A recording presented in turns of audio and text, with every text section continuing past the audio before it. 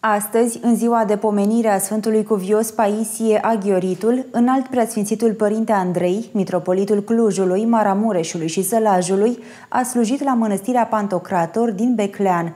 Acesta este singurul așezământ monahal din România care îl are ca ocrotitor spiritual pe Sfântul Paisie Aghioritul.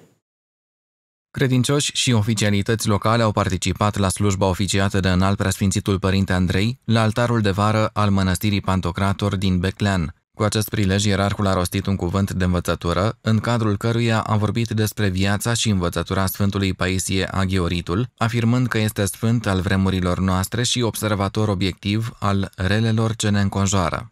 Nouă tuturor, inclusiv tinerilor, ne lipsește simțul jertfelnicie.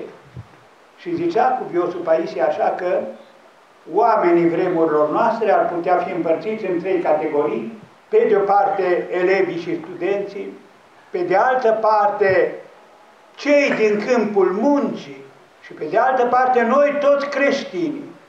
La fiecare găsim câte o măteahnă, elevii și studenții ar vrea să ia note mari, zicea Părintele Paisie, fără să învețe. Oamenii din câmpul muncii ar vrea să câștige mult și să muncească puțin. Iar noi creștinii, toți creștinii, am dorit să ajungem în rai, fără să venim la biserică, fără să ne rugăm, fără să facem fapte bune, fără să facem milostenii. Ori aceste trei, zicea Părintele Paisie, sunt absolut imposibile. Prăznuim astăzi pe Sfântul Cuvios Paisie cel Mare de la Atos, socrotitorul mănăstirii noastre. Din întreaga viață și activitate și scrierile Sfântului Cuvios Paisie Aghioritul îl putem caracteriza printr-un singur cuvânt. Jerfă. Jerfă, jerfă continuă atât în viața de familie, cei 29 de ani care i-a petrecut în familie, cât și cei 41 de ani în viața monahală, jerfa pentru el a fost cea din tâi asceză.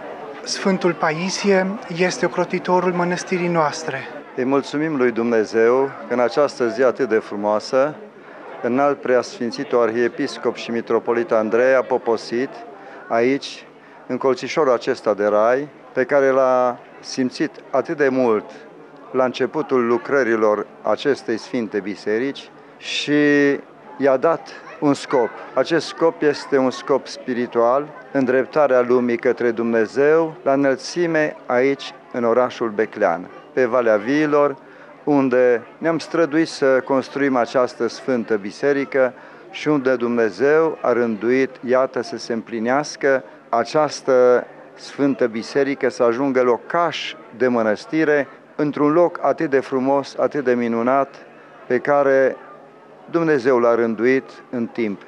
În alt preasfințitul Părinte Mitropolit Andrei le-a dăruit cărți de rugăciuni tuturor copiilor și tinerilor prezenți. Mănăstirea Pantocrator, cu hramul Sfântul Paisie Aghioritul, este situată în cartierul Valea Viilor, din orașul Beclean, județul Bistrița Năsăud. Așezământul se află pe locul unei vechi clopotnițe, construită în prima jumătate a secolului 20.